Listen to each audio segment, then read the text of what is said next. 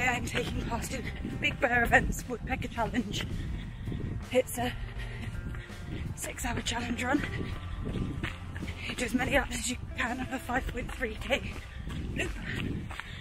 Um, just see how much you can do. It's taking place at Brixworth Country Park um, in Northamptonshire. And Brixworth is where I grew up. So it's a bit of a blast from the past. Just started my second lap. Um, I'm due to aim for four hours or 20 miles today on my training plan. So that's what I'm going to try and hit.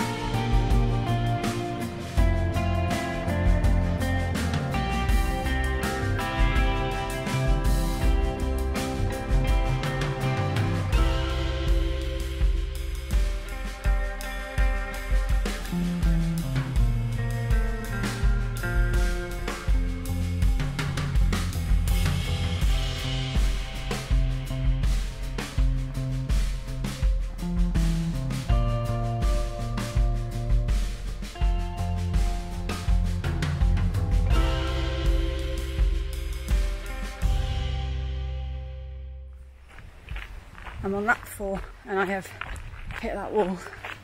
Actually, I don't feel too bad, I just have no energy. So I might get to the pit stop slowly, see if having something off the fuel table helps, and then see if I can carry on going. Maybe for one more lap. It's really warm as well.